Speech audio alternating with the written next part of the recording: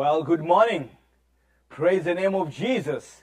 I am forever grateful that Jesus Christ gave himself for me so that I might live the life that he had set before me to follow. And therefore, we have his spirit inside of us, guiding us to walk in the path that he's already set for us. This morning, I'd like to encourage you from 1 John chapter 5 and verses 4 and verses 5. Verses 4 says, For whatever is born of God overcomes the world, and this is the victory that overcomes the world, our faith. Who is he who overcomes the world but he who believes that Jesus is the Son of God? Now you've got to understand that the Bible says that whoever is born of God overcomes the world. To overcome simply means to succeed in dealing with. So if you are born of God, you are actually having the capacity to succeed in dealing with the world. And therefore, when John says over here that whoever is born of God succeeds in dealing with the world, and there is a victory that comes with succeeding in with the world, and that is our faith. In other words, you have your trust, you have your surety and you have your confidence in God. And because you have your surety and confidence in God, your surety and confidence will enable the capacity you have in you to be able to, uh, to succeed in dealing with the world. Why with the world? Because the world has got a system on which it operates. And if you are born of God, then the world system does not actually control you or guide you. You are actually supposed to overcome or succeed in dealing with the systems of the world. Now you've got to understand that there is an educational system in this world. There is a financial system in this world. There is a health system in this world. And if you understand the systems of the world, there are some things you cannot have unless you are in the system of the world. Let's take, for example, a healthcare system. You cannot just walk into the hospital and expect to be taken care of without them asking you, where's your insurance? You see, the system of the world requires for you to have insurance in order for them to take care of you. Otherwise, they will not give you full care as they ought to because you do not have the sufficient funds to take care of what you have.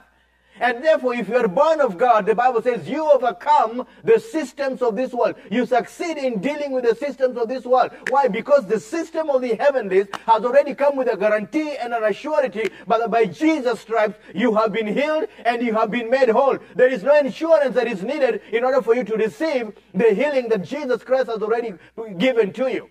And therefore, you are born of God. And because you are born of God, you have the system of God operating inside of you. And the system of God supersedes or succeeds in dealing with every system that is in this world. Therefore, you are unstoppable by the world if you are born of God. And therefore, this morning, I'd like to encourage you. You need to stay and maintain yourself in the heavenly system.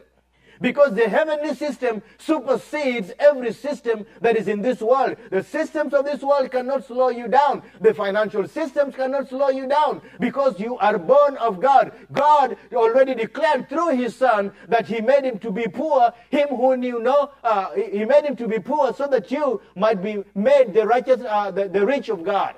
And therefore the system of this world cannot stop you. Verses 5 says this. Who is he who overcomes the world?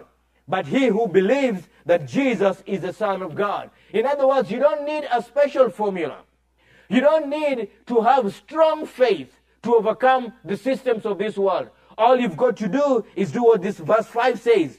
Who is he who succeeds in dealing with the world? It is him who believes that Jesus is the Son of God. Do you believe that Jesus is the Son of God? If you do, then you're already equipped because you have the capability, you have the capacity to be able to overcome the systems of this world. Now you have to activate your capacity. You have to activate your potential because it is within you to overcome this world. So as you're going about your daily activities today, I would like to encourage you activate your potential that God has already deposited inside of you through Jesus Christ so that you can be able to overcome. And you do that by believing and trusting in God and constantly knowing that Jesus is Lord. And everything else that the world is trying to keep you away from, then you can overcome by the systems of the world, which is Jesus Christ our Lord. Therefore, do not allow the financial system to hold you down. Don't allow the educational system to hold you down. Don't allow any kind of system to hold you down. Why? Because you believe in Jesus, and Jesus says, Because you believe in me, you will overcome. Why? Because greater is he that is in you than he that is in the world. And if you're born of God, you overcome the world and you're a world overcomer. Therefore, today, walk knowing and understanding that you are a world overcomer because of your faith in him. You stay blessed and have a wonderful day as you walk victoriously.